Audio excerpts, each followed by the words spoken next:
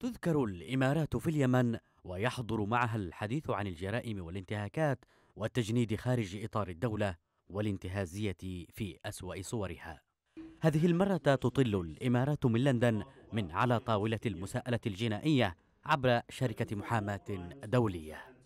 استنادا إلى ولاية القانون الدولي الإنساني طلبت شركة ستوك وايت للمحاماة في لندن من حكومات المملكة المتحدة والولايات المتحدة الأمريكية وتركيا القبض على 14 مسؤولا إماراتيا يقيمون في هذه البلدان أو يترددون عليها.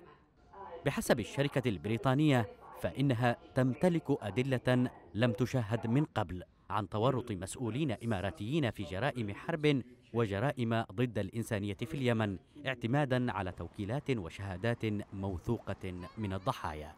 في السياق ذاته تستدعي الذاكرة ما كان موقع باسفيد الأمريكي قد أعلنه بخصوص استئجار أبو ظبي لمرتزقة أجانب لتنفيذ عمليات اغتيال ممنهجة لشخصيات وقيادات سياسية بعينها.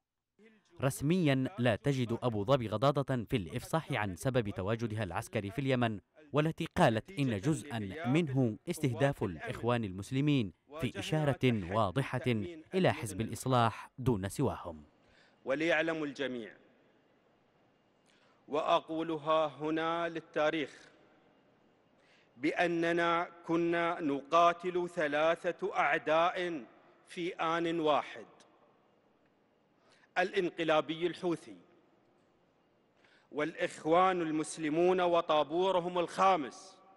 في الأثناء يتساءل مراقبون عن القيادة الشرعية اليمنية ممثلة بمؤسساتها السيادية. وما يفترض أن تقوم به إزاء المجاهرة الإماراتية صراحة في مختلف المحافل باستهداف فصيل يعتبر أحد أهم روافع الشرعية ومكوناتها تحت لافتة محاربة الإرهاب.